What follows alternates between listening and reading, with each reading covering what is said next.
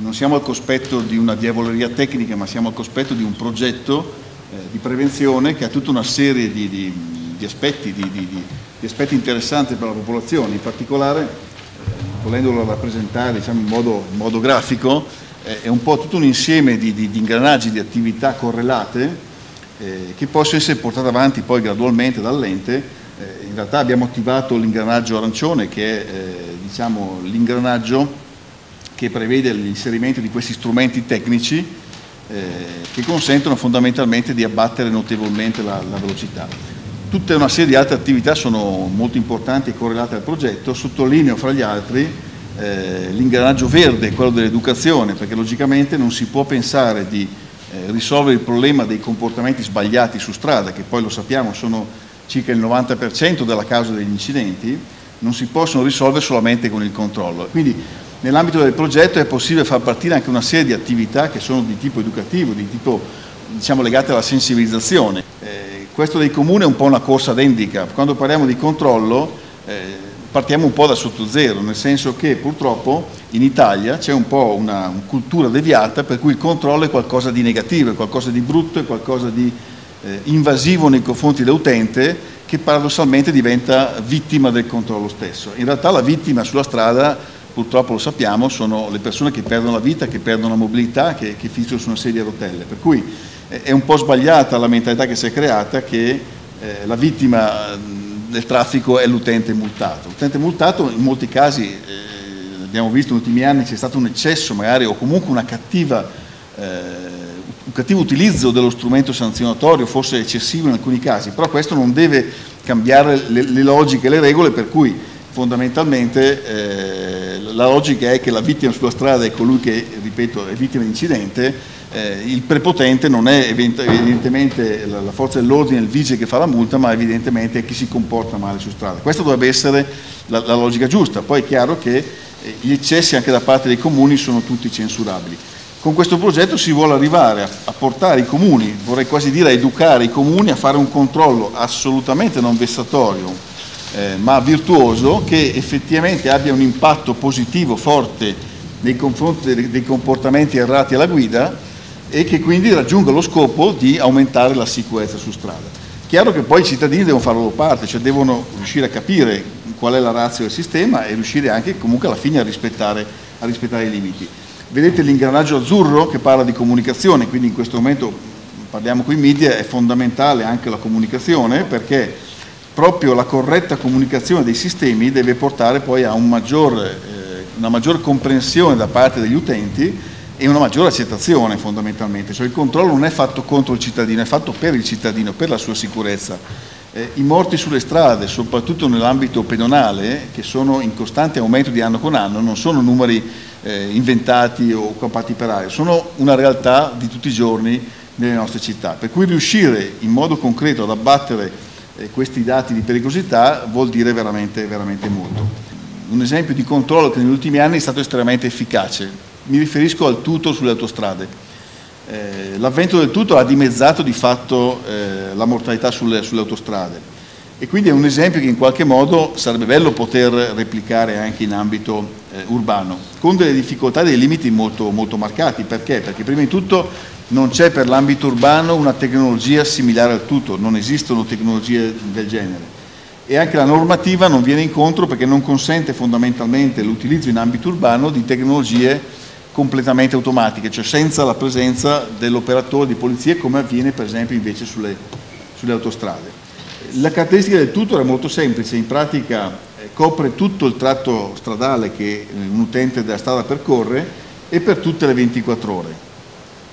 questa percezione continua del controllo, perché è un controllo che c'è, ripeto, H24 su tutto il tratto, fa sì che l'utente adegui il suo atteggiamento di guida eh, alla, ai, limiti, ai limiti imposti. Nell'ambito urbano, questo lo dicevo prima, è molto difficile andare a replicarlo, in realtà sui tratti urbani eh, i dati poi che vedremo sui, sui VRE sono un po' diversi, ma mediamente il 70% delle nostre rilevazioni statistiche sull'ambito urbano parlano di persone che superano i limiti, quindi solo un 30% mediamente rispetta questi limiti. Eh, il tipo di controllo che viene fatto in modo classico con eh, l'autovelox famigerato che tutti conosciamo in realtà oggi è molto ben preavvisato, c'è un cartello che lo preavvisa, quindi deve essere tutto diciamo, in qualche modo molto visibile. L'effetto, vedete, nella grafica, c'è un rallentamento molto marcato in quel punto, passato il pericolo l'utente tende a ripartire e scappare via. Questi sono alcuni dei dati che noi rileviamo statisticamente, cioè davanti alla postazione ben visibile il 4 e il 5% solamente infrange, appena passata la postazione torna ad andare come andava prima, quindi circa il 70% supera di nuovo i limiti. Per cui è un'azione un del controllo fatto in modo classico, cioè se si cerca di limitare la velocità con il sistema di controllo classico, ahimè, eh, si ottiene ben, ben, poco. Quando la pattuglia smonta si, dati, si torna ai dati di prima praticamente, per cui non, non c'è un gran rispetto del, del limite. L'idea è stata quella in pratica di, mh, avuta peraltro da un comandante di polizia, quindi è uno strumento non nato nell'ambito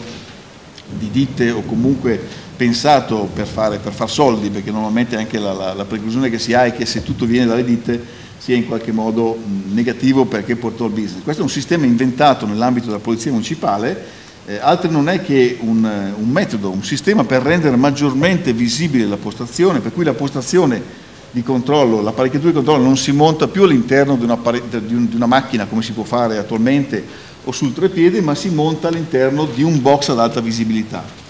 Questo fa sì che in pratica col box ad alta visibilità eh, ci sia un grosso vantaggio, cioè se il vigile, questo vedete rappresentato qui alla mia destra, è un vigile, eh, non può stare evidentemente H24 su strada controllando H24, non ci può stare lui, ma ci può stare tranquillamente un box che sia pieno o che sia vuoto, non ha importanza, può essere riempito eh, quando l'operatore di polizia è in servizio, quando non è in servizio può essere anche vuoto, ma l'utente della strada di fatto non ha la certezza che questo eh, strumento sia, sia, sia pieno, sia vuoto. Non è come qualcuno pensa un inganno nei confronti dell'utente della strada, perché la postazione di controllo, anche il tutto stessa, non è mai sempre attiva, però l'utente percepisce che sia attiva H24. È questa percezione che eh, rende diciamo, il controllo efficace in termini preventivi, non è la multa in sé, ma è la, la, la sensazione che possa esserci eh, la presenza del controllo. Questo meccanismo che potremmo effettivamente non a caso definire psicologico è assolutamente efficace nell'abbattere effettivamente i comportamenti sbagliati.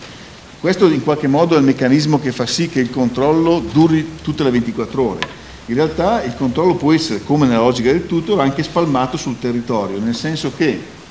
eh, ripetendo, come avete visto in effetti fare qui a Ivrea, questo posizionamento di queste cabine in più punti Ecco che di fatto, eh, replicando i possibili controlli in più punti, si ha proprio un effetto tutto, per cui tutta la strada in qualche modo viene, eh, su tutta la strada viene rispettato in qualche modo il, il limite stesso.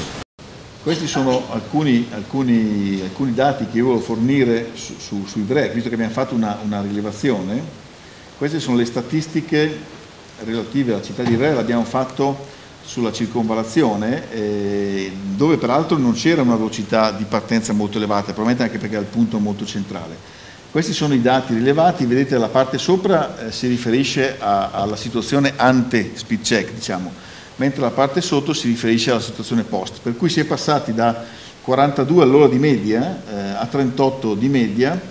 con un'incidenza delle infrazioni che prima dell'11% adesso è del 3%, quindi c'è un calo percentuale delle infrazioni del 70% erotti. Eh, ripeto, partivamo da, da, un campione non molto alto in termini di infrazione, però vedete che eh, le velocità medie sono comunque calate, le, le, le, infrazioni sono calate del 70%, si sono azzerate completamente le infrazioni eh, da ritiro di patente, cioè quelle sopra, sopra i 90 all'ora. Questo è su un campione di 120.000 passaggi circa in andata e 100.000 in, in ritorno. Eh, di notte il calo è decisamente più marcato perché si passa da 47 km orari di media, lo vedete in questo punto in alto eh, a sinistra, si è passati a 39 di, di, di media, quindi da, da 30% che infrangeva si è passati a un 5%. Il dato rosso e il dato verde, vedete, cioè l'infrazione oltre il limite prima era un 30%, adesso sono il 5%. Eh, vedete che tra, tra, i, tra, i, 61 e i 90 all'ora, che comunque comincia a essere eh, un tipo di, di, infrazione abbastanza pericolosa in centro urbano sicuramente, si è passati da 985 a 93 eh, unità. Per cui il calo complessivo è di, assoluto è di 7,88 velocità media, 82 infrazioni e azzeramento delle infrazioni gravi. Può essere interessante vedere anche il dato eh, delle, delle infrazioni maggiori, quindi dei passaggi più veloci registrati. Questi sono i 10 passaggi più veloci registrati prima e dopo nelle due direzioni, per cui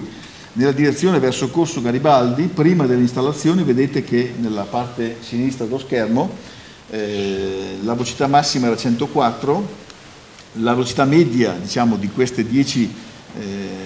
10 velocità rilevate era 96 all'ora. Successivamente, quindi il secondo, secondo specchietto, questo qui, vedete che eh, la, velocità, la, la media della, delle punte di velocità è passata a 81, 81 all'ora, quindi in pratica meno 15 km di velocità media eh, nel, nelle punte massime.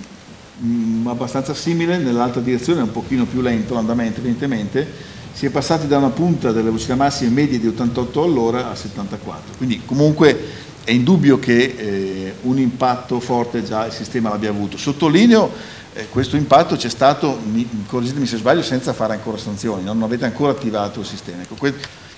la sensazione del controllo fatta con questo sistema è molto forte, questi sono i dati complessivi che noi abbiamo raccolto in giro per l'Italia dove abbiamo installato questo sistema su circa 150 comuni, quindi non propriamente eh, pochi.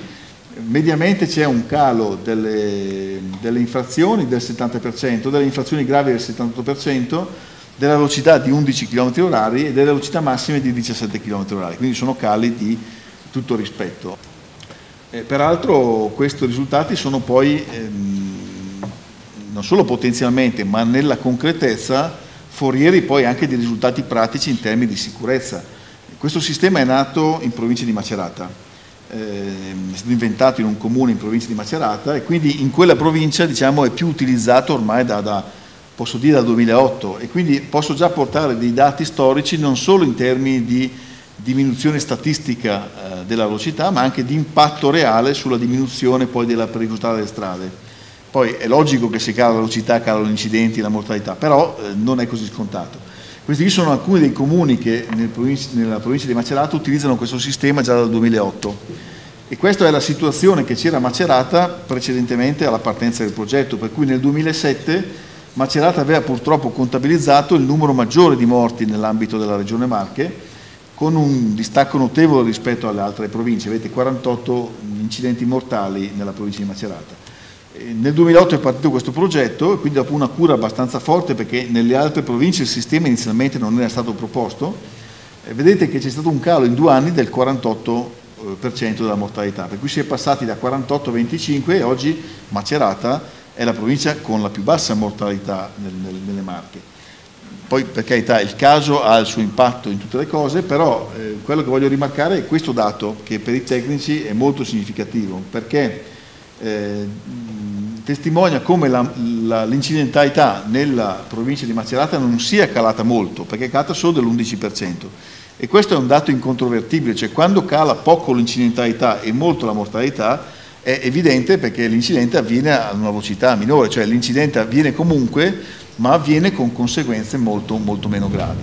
Ed è strutturalmente lo stesso, non ce l'ho qui come dato, ma è lo stesso dato che c'è nel tutor, cioè il tutor ha portato un abbattimento di circa 12% di, di incidentalità, ma di eh, oltre il 40% di mortalità. E questa è tipicamente la situazione in cui, ripeto, si ha la, la, la, la minor pericolosità dell'incidente perché la velocità è decisamente calata. Quindi questa è la razza del sistema, cioè arrivare ad abbattere eh, la velocità prima di sanzionare, cioè non arrivarci attraverso una serie importante di sanzioni per cui la gente alla fine si adegua per sfinimento, no? per non prendere sanzioni alla fine si adegua. Qui l'adeguamento è stato prima, quindi non è un passaggio eh, da poco questo, perché sono tutte sanzioni evidentemente che l'ente non ha incassato e non incasserà e non ha nessuna intenzione evidentemente di, di incassare. Presumo che l'ente sarebbe contentissimo se questi dati continuassero senza dover fare neanche una sanzione. In realtà per mantenere inalterati questi dati nel tempo bisognerà qualche volta evidentemente anche intervenire,